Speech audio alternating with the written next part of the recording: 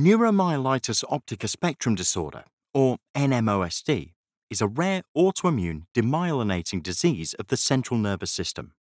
Now considered a separate disorder from multiple sclerosis, NMOSD can be severely disabling and life threatening, with a reported mortality of between 7 and 32%. The hallmark of the disease is recurrent attacks of optic neuritis and or transverse myelitis that result in accumulating irreversible disability including blindness and paraplegia.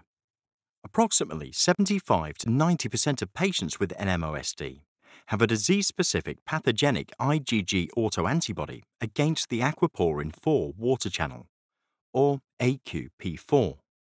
This antibody is thought to bind to AQP4 on astrocyte foot processes at the blood-brain barrier.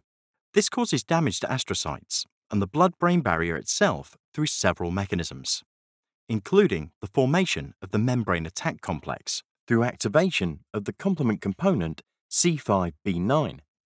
Subsequent inflammation related damage to other parts of the central nervous system leads to demyelination, neuron loss, and neurological deficit, evidenced by clinical symptoms such as vision loss associated with optic neuritis and paralysis of the lower limbs due to transverse myelitis.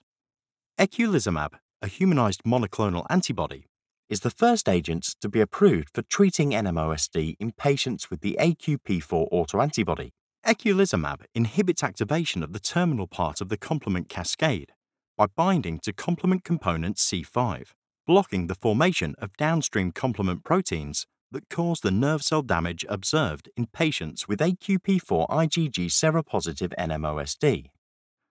While the exact mechanism of eculizumab in these patients is unknown, it is thought to inhibit AQP4 IgG induced membrane attack complex deposition. Importantly, the critical immunoprotective and immunoregulatory functions of the complement proteins upstream of C5 are preserved, including C3b mediated immune complex clearance and microbial opsonization.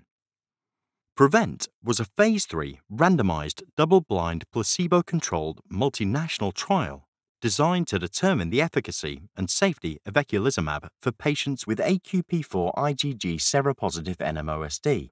The study enrolled 143 adults with AQP4 IgG seropositive disease, a history of relapses within the last 12 to 24 months, and moderate to severe disability.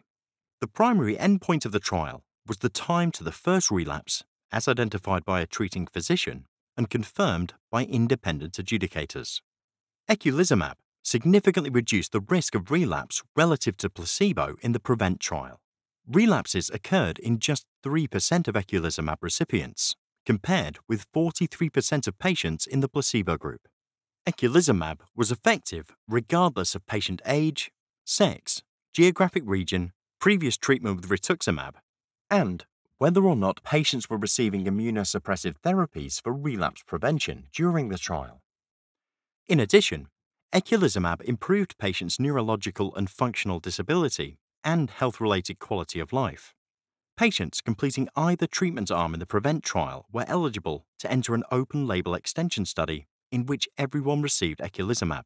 Over 90% of the group of patients who received at least one dose of eculizumab in the randomized trial or the extension were relapse free through four years of treatment. Eculizumab was generally well tolerated in the PREVENT trial, the most common treatment emergent adverse events, occurring more frequently with eculizumab than placebo, were upper respiratory tract infections, nasopharyngitis, diarrhea, dizziness, and back pain.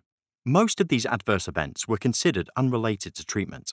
Thus, eculizumab is an effective, generally well tolerated treatment for AQP4 IgG seropositive NMOSD and is the first agent specifically approved for use in patients with this rare condition.